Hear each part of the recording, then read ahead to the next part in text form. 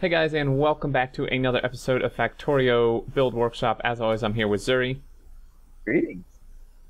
And uh, today we have a rail junction, um, a four-way rail junction submitted by the One Wolf 34. And this is going to be a pretty quick video because we just have this to go over and then another note about a previous one we did. But uh, I'll let Zuri pretty much go over um, the logistics of this. Yes, it's uh it's a four-way junction based off the intersection criteria, so there's no loops. Um, the only complaint to have with it is that it's built a little too compact, so there's not enough room to fit in all the signals you need to maximize the throughput. But other than that, it's a good design. Okay, cool. So, uh, if it were big enough to fit the signals, uh, where would you want the the proper signaling to be? Uh, before and ever sorry before and after every single one of these little junctions. So you, you need a lot of little signals in here and there's not enough room to put them the way it's built right now. Okay, so without the signals that you need, um, you, you mentioned to me it essentially just limits this to one train through at a time because of the signaling.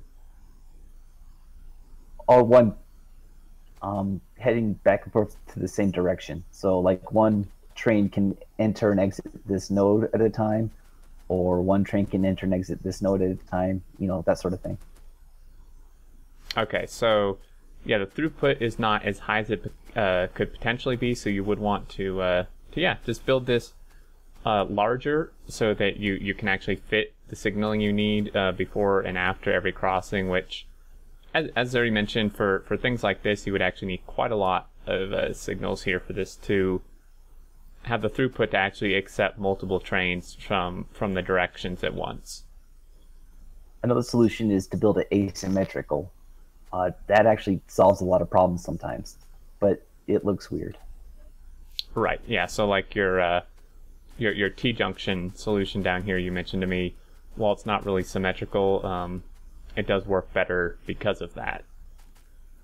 yes, if uh, you don't make it completely symmetrical, you usually typically fit in signals on one side or the other. Again, you'd build this uh, different if you were driving on the left versus on the right. Okay. Yeah. Good point. And then, so that pretty much covers that one. So, thanks for the submission. Um, you know, good design, and and really just need to to to get the maximum throughput for it. Uh, you would need to expand it so that you can actually fit your signaling in here um, before and after every crossing, pretty much. But uh, overall, good design. And lastly, just as a quick note, um, this is uh, Xantaxia's design. We went over a few videos ago that uh, people really liked. We really liked it.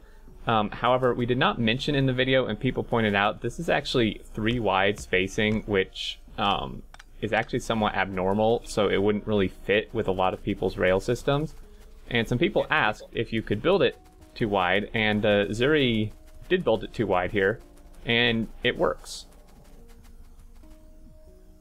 Yeah, I'm pretty sure I got the signals right. We haven't hooked it up to a train system and tested it, but yeah, it should work, and it's uh, this the correct uh, spacing for a lot of the train systems. Correct. So, um, yeah, signaling should be good. I mean, we essentially just mirrored the signaling on this one. Uh, and, and one quick note, it is slightly bigger. We measured, and I think you said, Zuri, it's like one rail larger in each direction. Yes. Then- Okay, so so yeah, actually, um, compressing the main rails actually kind of expands the others out a bit. Um, but it's just barely larger, and this one would actually fit with your uh, two rail systems, and and yeah, there you go. So it can be done, and and that's really it, guys. Pretty short video, but uh, didn't have too much to go over. There was another rail system, but we couldn't get the blueprint to work, so I did request a resubmission for that one. Hopefully, in the future, we can go over it as well. But uh, unless you have any last thoughts or anything, Zuri, I believe uh, that'll do it. Nope. Catch you guys later. All right, later, guys.